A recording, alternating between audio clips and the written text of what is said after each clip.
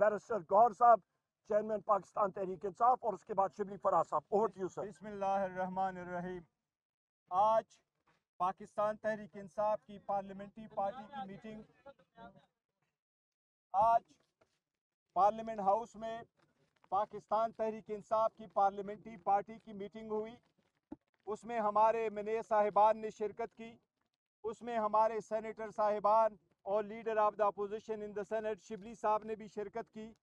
اس میں ہمارے اتحادی جلامہ علامہ ناصر صاحب، ایم ڈبلیو ایم کے چیئرمین شریک ہوئے۔ اس میں سنی اتحاد کے چیئرمین حامد رضا صاحب بھی شریک ہوئے۔ آج ہم نے متفقہ طور پر امپارٹنٹ فیصلے کیے ہیں۔ سب سے پہلا فیصلہ ہمارا یہی ہے کہ سپریم کورٹ میں جو اڈھاک ججز کو لگایا جا رہا ہے، ہم سمجھتے ہیں کہ یہ بدنیتی پہ منحصر ہاں ہے اس کی سمری اس وقت منہ کی گئی جب سپریم کورٹ نے پی ٹی آئی کے حق میں ایک فیصلہ دیا۔ ہم قاضی فائزیسا سے ایز اے چیف جسٹس مطالبہ کرتے ہیں کہ آپ بدستور پاکستان سپریم کورٹ کے چیف جسٹس ہے اگر آپ مائنارٹی میں بھی ہے تو یہ فیصلہ سپریم کورٹ کا ہے۔ اس فیصلے میں من وان عمل کروانا اس کو انفورس کرنا آپ کی آئینی قانونی اور ایز اے چیف جسٹس ذمہ داری ہے۔ ہم آپ سے مطالبہ کرتے ہیں کہ ہر صورت اس فیصلے کا، کی دفاع ہو اور اس فیصلے کی امپلیمنٹیشن ہو۔ چار ججز کو اڈھاک ایک ساتھ لانا، وہ بھی چھٹیوں میں لے کے آنا، وہ بھی اس وقت پہ جب چیف جسٹس کے ریٹائر ہونے میں آلموسٹ ایک مہینہ ہے۔ چھٹیاں شروع ہو گئی سپٹمبر پندرہ تک چھٹیاں ہیں۔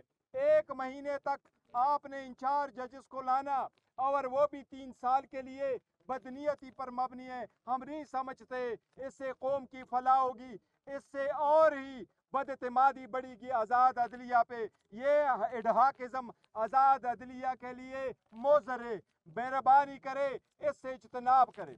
آج ہمارے leader of the opposition in the senate Shibli Faraz صاحب کی طرف سے۔ اور آج ہمارے leader of the opposition in the national assembly Omar Ayub صاحب کی طرف سے ہم سارے ریزرویشن انشاءاللہ تعالی لکھ کر سپریم جوڈیشل کونسل میں ہم بھیج رہے ہیں کہ ان کو مد نظر رکھتے ہوئے ایسے اقدامات سے آپ گریز کریں۔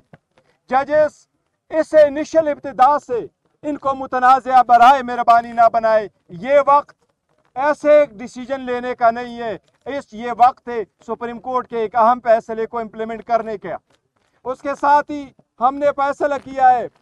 اور ہم شکریہ ادا کرتے سارے وکلا تنظیموں کے، وکیلوں کے، ان پولیٹیکل پارٹی نے کہ جنہوں نے اڈھاکزم کے خلاف آواز اٹھائی اور جنہوں نے پاکستان تحریک انصاف پہ بین لگانے کے خلاف بھی آواز اٹھائی ہے۔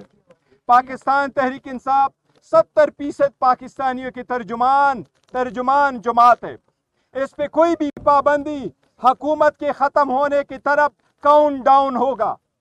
انشاءاللہ تعالی پاکستان تحریک انصاف ایک محب وطن پارٹی تھی، ہے اور انشاءاللہ تعالی یہ رہے گی۔ اس کے ساتھ آج آج ہم الیکشن کمیشن کو اپنی کنفرمیشن پارٹی کی طرف سے واپس دے رہے ہیں۔ جس طرح سپریم کورٹ کی ڈائریکشن ہے thirty seven M N A نے اپنے ایفیڈیوٹ فائل کیے ہیں۔ اس کی کنفرمیشن ہم بھیج رہے ہیں۔ باقی ہمارے تین ایم این اے صاحبان ہیں، وہ دبئی میں تھے اور عمرہ پہ ہیں۔ ان کے ایفیڈیوٹ آج مل جائے گی۔ انشاءاللہ وہ بھی کل سبمٹ ہو جائے گی اور ان کا بھی ہم کنفرمیشن بھیجیں گے۔ ہم الیکشن کمیشن سے پرزور مطالبہ کرتے ہیں کہ یہ آخری وقت ہے۔ یہ آخری وقت ہے۔ سپریم کورٹ نے بولا ہے یہ عوام کی آواز ہے۔ آپ نے فوراً ہمارا نوٹیفیکیشن ایشو کرنا ہے۔ جس طرح سپریم کورٹ نے ڈائریکٹ کیا ہے، سپریم کورٹ نے یہ بھی آرڈر کیا ہے کہ الیکشن کمیشن کمپلائنس رپورٹ فوراً سپریم کورٹ میں فائل کرے۔ ہمیں امید ہے انشاءاللہ تعالیٰ کہ وہ کمپلائنس رپورٹ بھی جلد فائل ہوگی۔ شبلی صاحب۔ یہاں پہ صرف ایک پوائنٹ ضروری۔ چیف جسٹس قاضی فائز عیسیٰ صاحب کی اہلیہ سرینا صاحبہ نے آرٹیکلز دیکھے، بیانات دیے وزیر اعظم عمران خان صاحب کے خلاف، اور انہوں نے انہوں نے مائنڈ دیا قاضی فائز عیسیٰ صاحب، میں پھر یہ ٹریٹ کرتا ہوں ان کو پی ٹی آئی کا کوئی کیس نہیں سننا چاہیے، اور آخری ڈیمانڈ میری طرف سے پھر شبلی فراز صاحب بات کریں گے چیف الیکشن کمشنر سلمان، اپنا سلطان اکرم راجہ، اور اس کے چاروں کمشنر سکندر سلطان راجہ، اور اس کے تمام کمشنرز فیل فور ریزائن کریں ورنہ ان کے خلاف آرٹیکل سکس لگنی چاہیے۔ بسم اللہ الرحمن الرحیم۔ اکثر باتیں میرے ساتھیوں نے کر لی ہیں۔ میں یہ کہنا چاہوں گا کہ پچھلے دو سال سے جس طرح کے یہ سسٹم بے نقاب ہوا ہے